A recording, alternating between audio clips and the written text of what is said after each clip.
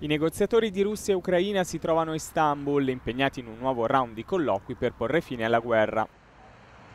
La neutralità dell'Ucraina e lo stato delle aree contese nell'est del paese saranno probabilmente oggetto di discussione, ma con l'invasione russa in stallo su vari fronti è più difficile che il governo di Kiev faccia concessioni sulla propria integrità territoriale.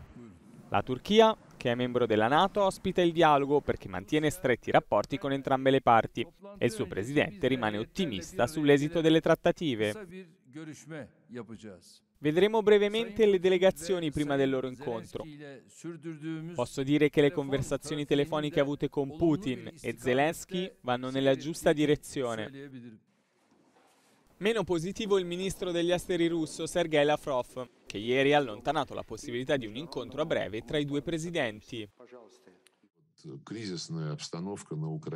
La crisi in Ucraina, il conflitto all'interno dell'Ucraina è in corso da così tanto tempo e presenta così tanti aspetti problematici che ora sarebbe controproducente incontrarsi solo per ribadire le proprie opinioni al riguardo.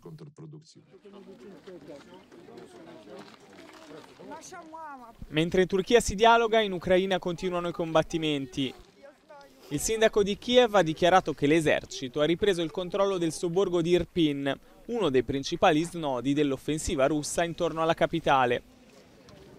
Ma nel sud-est del paese, la città di Mariupol resta sotto assedio, con circa 160.000 civili intrappolati senza cibo, acqua e medicine. Secondo le stime sarebbero già morte più di 5.000 persone.